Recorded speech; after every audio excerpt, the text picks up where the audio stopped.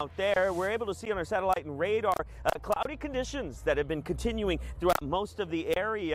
Uh, as we take a look at those temperatures right now, we're able to see temperatures at about 54 degrees in Brownsville, 57 out towards Harlingen, 53 in Weslaco, 57 in McAllen, and 58 degrees in Rio Grande City. Lows for tonight will be back down into the 40s, 45 degrees in Brownsville and 43 in Harlingen. If you're going to be out towards Willacy County, noticing that those temperatures will drop down into the low 40s as well. Hidalgo County.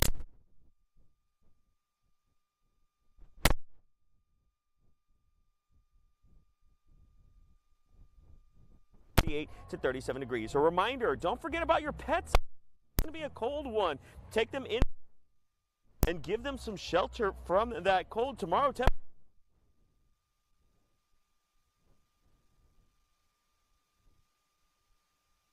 Towards uh, uh, looking out towards uh, some of those areas for the weekend. My, my, it's fine.